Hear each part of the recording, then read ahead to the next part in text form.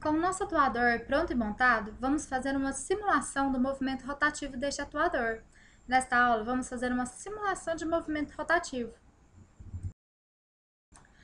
Novamente, nós vamos vir aqui embaixo, em Modelo, Estudo de Movimento.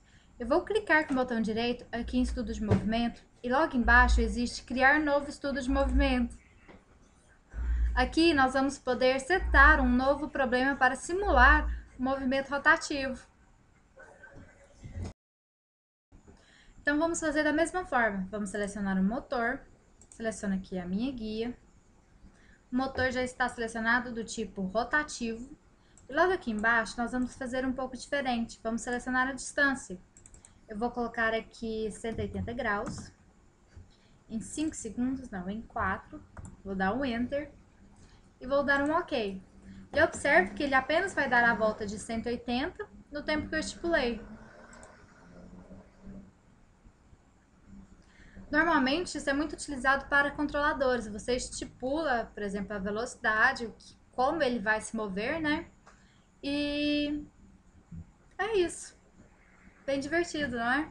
Nós podemos também salvar o nosso a nossa animação. Vou colocar aqui montagem 2. Vou salvar.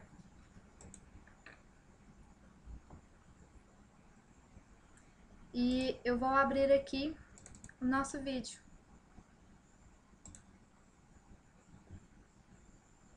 Simulando certinho.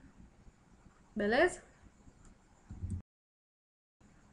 Vamos tentar mais uma, mais uma vez, me desculpe. Eu vou clicar aqui no estudo de movimento, vamos criar um novo estudo de movimento e vamos tentar fazer um movimento oscilante aqui na minha guia. Vou selecionar aqui o meu motor, aqui na minha guia, e vamos colocar oscilante. Vou aumentar aqui para 180 graus e vou diminuir aqui para meio hertz. Vou dar um OK e vamos dar um play. Ó, oscilante de 180 graus. Como havia dito, eu acredito mesmo que seja um bug. Eu não sei explicar. Então, vamos salvar essa animação. Vou colocar aqui montagem 13. Ok.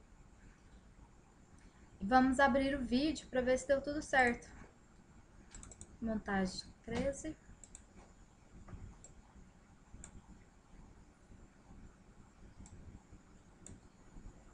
Perfeito, não?